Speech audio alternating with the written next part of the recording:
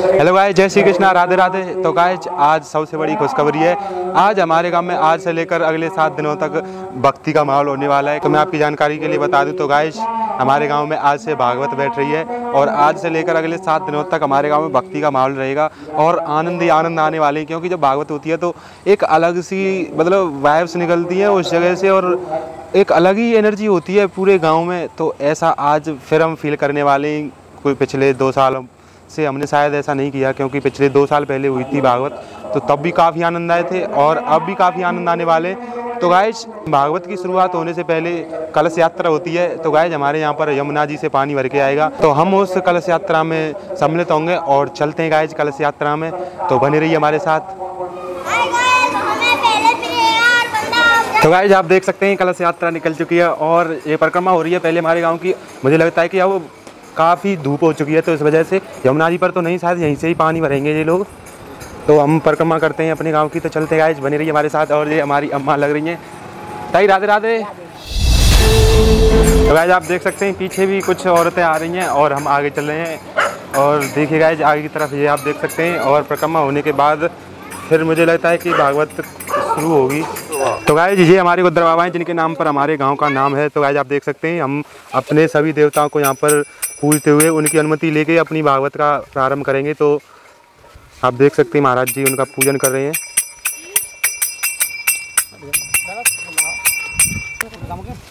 पूरे गाँव कहीं? जिनके नाम पे है महाराज जी, गाँव का नाम? तो चलते हैं गाइज़ आगे तरफ़ और आगे अग्रसर होते हैं और देखेंगे, अब जाएँगे बुनियावा पे। हमारे गाँव में बुनियावा है वहाँ पर जाएँगे। उनकी भी अनुमति लेंगे। तो चलते हैं गाइज़ और आप देख सकते हैं सभी बेसब्री से इंतज़ार कर रहे हैं यहाँ।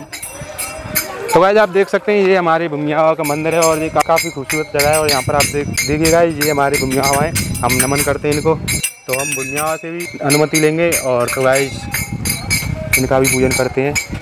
तो गाइज़ यहाँ पे आने के लिए काफ़ी अच्छी, यहाँ से निकलने के लिए रास्ता है। उस जगह पे ही थोड़ी दिक्कत थी तो ऊपर वाली कृपा रही तो वो भी हो जाएगी। तो देखिए गाइज़ हमारे गाँव में खुशी की लहर दौड़ चुकी है। बच्चों के अंदर तो इतना जज्बा जाग चुका है और ये सभी लगे पड़े हैं बस भक्ति में। इनको भक्ति भाव से कोई मतलब नहीं है, बस इसको, इनको बस अपना आनंद आना चाहिए और इनको बस ये बजाने में काफ़ी आनंद आ रहा है। तो भाई भूमिया की परिक्रमा हो रही है और हमारे गाँव की जितनी महिला वर्ग है, सभी परिक्रमा कर रही हैं और ये हमारे महाराज जी हैं, जो अब भागवत पढ़ेंगे। राधे राधे महाराज जी। जय श्री राधे।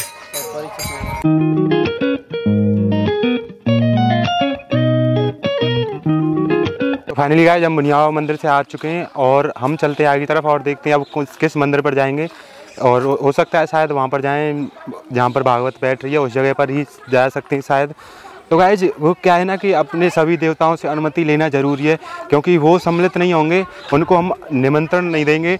तो भागवत कराने का कोई महत्व तो नहीं है। तो गाइज़ अपने गाँव के जितने भी देवता हैं, उनको भी शामिल करना ज़रूरी है। तो इस वजह से हम सभी देवताओं के पास जाते हैं, उनको नमन करते हैं और उनको मतलब निमंत्रण देते हैं और वो उसे स्वीकार करते हैं। और हमारी भागवत वगैरह में गाँव पूरा मिल जो भी कार्य करता है, उसमें सम्मिलित होते हैं। तो वो कार्य अच्छे से संपन्न हो जाता है और वो सफल भी होता है। तो गाइज़ इस वजह से सभी देवताओं के पास जाते हैं और हम परिक्रमा हमारी शायद कंप्लीट होने वाली है तो चलते हैं गाइज़ आगे तरफ़ और देखते हैं। मुझे लगता है कि अब हम भागवत स्थल पर पहुँचने वाले हैं, वहीं पर जा रहे हैं सीधे।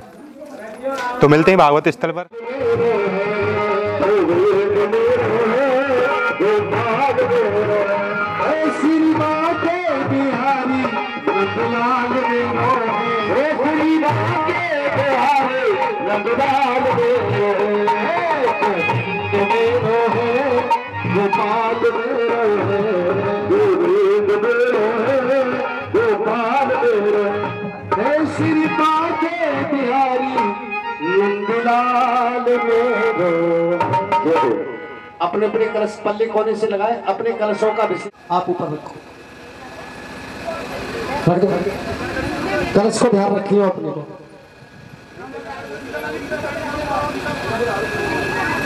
तो भाई ये भागवत स्थल है, यहाँ पर हमारी भागवत का आरंभ होगा और इस जगह से आज से शुरुआत होने वाली है और इस जगह पर कलश रख चुके हैं। तो भाई अब यहाँ से हम अगले सात दिनों तक इसी प्रणाली को दोहराते हुए आगे बढ़ेंगे।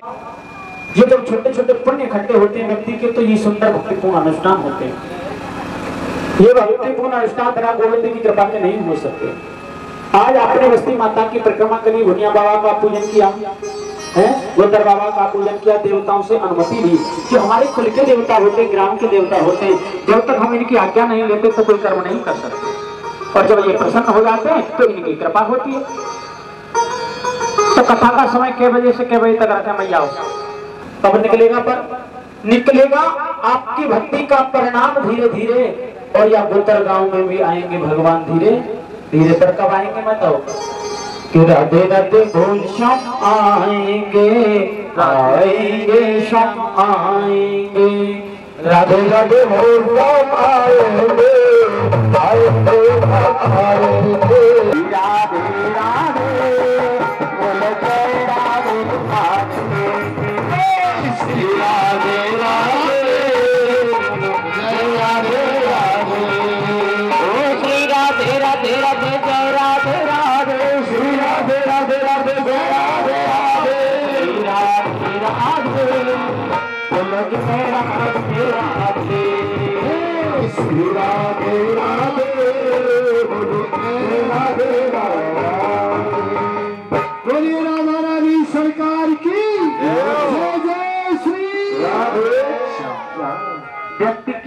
भगवान की है आरती।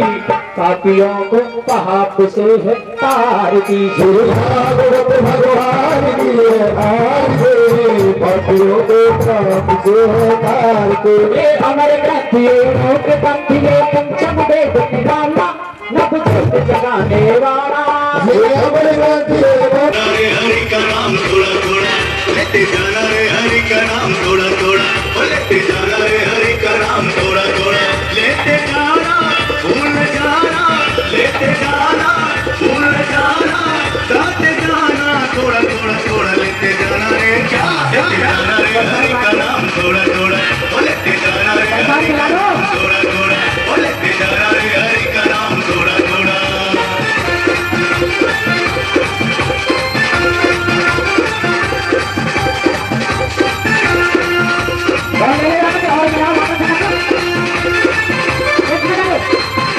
तो फाइनली गाइज़ आज की जो भागवत है वो कंप्लीट हो चुकी है, आज का समापन हो चुका है। और कल फिर से होगी। तो गाइज़ मिलते हैं फिर नई किसी ब्लॉग के साथ। तो बने रहिए गाइज़ अगर आपको ब्लॉग अच्छा लगे तो like subscribe and share bye bye तो स्लो चल रही हैं। आज भाग बहुत जोड़ते रही हैं, पर बहुत लेट आ पाई साथ तो।